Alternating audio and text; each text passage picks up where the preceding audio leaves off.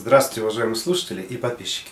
Продолжаю свою небольшую, но очень полезную серию для лиц, у которых выявили белок в моче. Конечно же, есть множество народных рецептов, и я уже снял около пяти подобных видео, где я рассказываю об этих рецептах. Если ваши плохие анализы, если ваш белок в моче не обусловлен тяжелейшими болезнями почек, например, почечной недостаточностью, тогда обязательно подключите к основному лечению несколько народных рецептов. Ссылка на этот уникальный плейлист появится в конце этого видео. А сегодня очередной рецепт. Даже будет два рецепта с одним растением. Это пихта.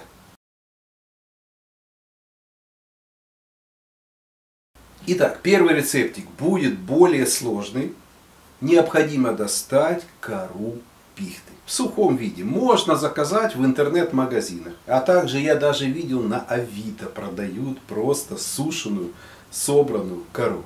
Что необходимо делать? Берем чистую кастрюлю, ну примерно 4-5 литровую. Далее берем измельченной коры до вот такого состояния, не до трухи, а именно вот просто вот, вот так измельченная кора три обычных стандартных стакана. Идеально бы было этот рецепт готовить на водяной бане. Но в крайнем случае, если кто-то не может заморачиваться водяной баней, очень осторожно греем на пределе закипания данную смесь просто обычным пламенем.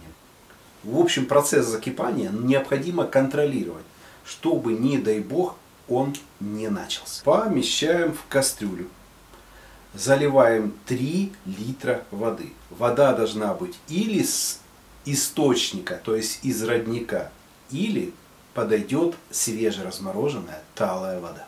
Далее доводим все до состояния 80-90 градусов и на пределе закипания начинаем все томить. Томим ровно 1 час. Потом закрываем нашу кастрюлю, если это было на водяной бане, вынимаем ее так же само. И хорошо укутываем. Укутываем одеялом или полотенцем.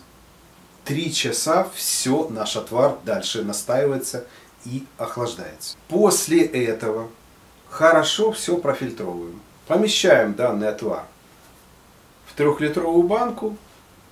Подождем, пока он опустится до комнатной температуры и ставим его в холодильник. Ежедневно три раза в день отливаем себе 50 мл данного отвара и до еды за 40 минут выпиваем.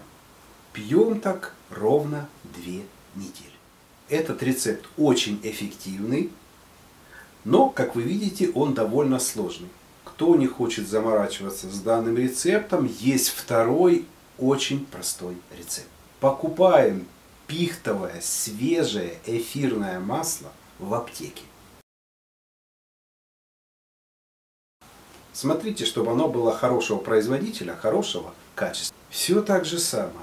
Три раза в день берем хорошую живую воду, талую или воду из источника, капаем на нее три капли нашего масла и до еды за 40 минут выпиваем. Так делаем также две недели. Потом при необходимости переходим на другие рецепты. Или сдаем анализы и смотрим на результаты. Если вам нравятся мои рецепты для здоровья, не забудьте меня поблагодарить, написать комментарий, а также поделиться этим роликом со своими друзьями. Они также хотят быть здоровыми. До новых встреч на моем канале и встретимся еще.